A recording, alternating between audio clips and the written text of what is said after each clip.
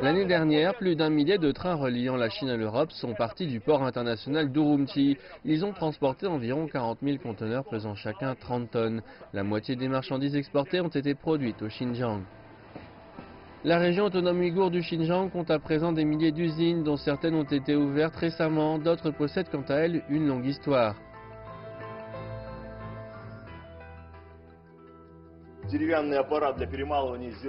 Ces bidons ont été utilisés initialement pour la fabrication de l'alcool en Chine. Chaque récipient de fermentation conserve 350 litres de liquide.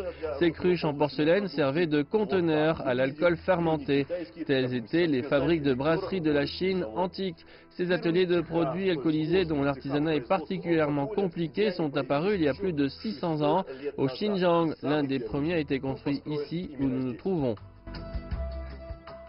Cette entreprise moderne d'alcool a été fondée en 1952, produisant 3000 tonnes d'alcool par an. Son mode de fabrication remarquable a été sélectionné pour faire partie de la liste du patrimoine culturel intangible du Xinjiang. À partir de 2020, cet alcool s'exportera sur les marchés étrangers. Pour connaître les habitudes et le goût des habitants locaux, nous avons visité l'un après l'autre la Russie, le Kazakhstan et l'Ouzbékistan nous avons découvert que les produits alcoolisés chinois étaient rares dans ces pays. Donc l'été prochain, nous allons vendre sur les marchés étrangers nos alcools, qui sont produits suivant les instructions anciennes et traditionnelles. Une autre entreprise prisée pour son modernisme est celle fondée à Ami, qui a maximisé la technique spéciale de compression du poids des produits alimentaires spatiaux. Elle traite 8000 tonnes de fruits par an par le biais de la technologie d'assèchement en gelée avant de les déshydrater pour obtenir 1500 tonnes de fruits séchés.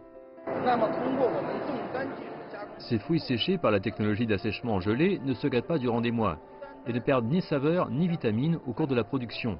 Nous vendrons bientôt nos fruits séchés de melon, mangue, poire et d'autres à l'étranger.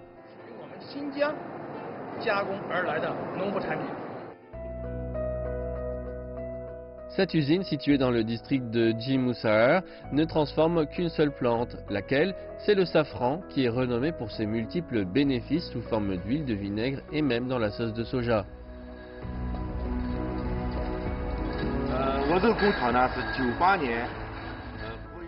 Créée en 1998, notre société a renforcé sa capacité à plusieurs reprises avec le soutien du gouvernement. Sa production annuelle atteint maintenant plus de 100 000 tonnes.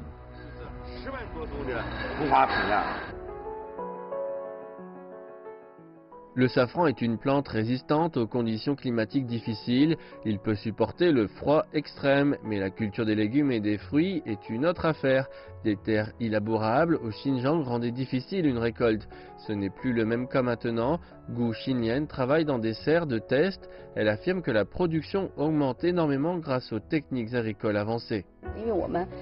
Ces tomates sont des cultures hydroponiques. Elles poussent dans de l'eau minéralisée. Il ne faut que deux mois au total alors que quatre mois sont nécessaires pour une culture normale de tomates.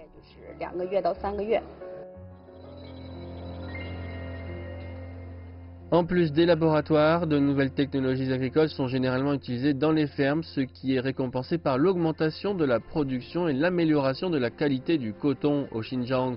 Ce produit agricole considéré comme la platine a renouvelé sa production annuelle au cours de ces 24 dernières années en Chine, avec en 2018 un nouveau record de plus de 5 millions de tonnes.